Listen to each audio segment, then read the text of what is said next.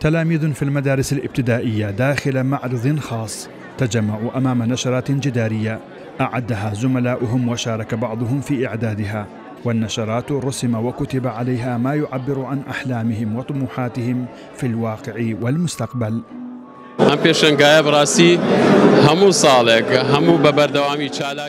افتتاح المعارض والنشاطات الفنية مهم جدا.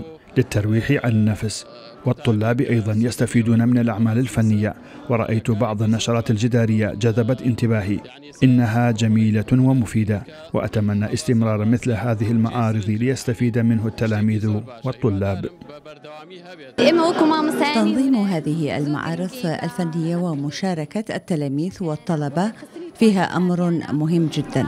بالتأكيد حصة الفن في المناهج الدراسية تكشف وتنمي مواهب الطلاب الفنية وهي في نفس الوقت ترفيه للطلاب من ضغوط الدراسة والامتحانات والواجبات المدرسية والنشرات الجدارية وسيلة تعليم وتثقيف فعالة للطلبة والتلاميذ والاهتمام بها أمر جيد.